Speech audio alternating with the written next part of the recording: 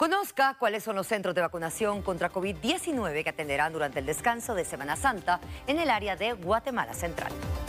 Del 13 al 17 de abril, el Ministerio de Salud ha habilitado algunos centros de vacunación para que las personas que quieran aprovechar el descanso de la Semana Mayor acudan a inmunizarse contra el COVID-19. Siendo ellos eh, Campo Marte, Mariscal Zavala, eh, las unidades periféricas del Amparo, zona 7, eh, El Paraíso, zona 18, Canalitos y el centro de atención temporal que tenemos en la zona 21.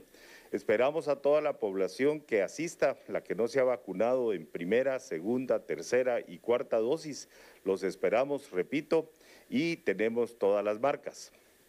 Para la aplicación de la cuarta dosis de refuerzo contra el COVID-19 es necesario contar con cuatro meses luego de la aplicación de la tercera vacuna.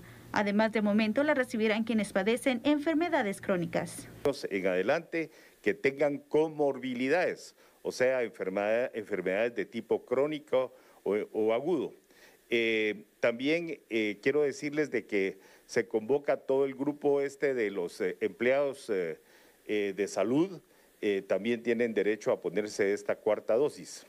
La tercera edad también son tomadas en cuenta siempre y cuando tengan comorbilidades, le llamamos nosotros, o sea, enfermedades casi siempre todas las personas de, la tercera edad ya tenemos comorbilidades, así que es un amplio margen para que lleguen todas estas personas. El horario de atención en los puestos de vacunación de Mariscal Zavala y Guardia de Honor será de 8 de la mañana a 18 horas y el resto atenderá a las 24 horas.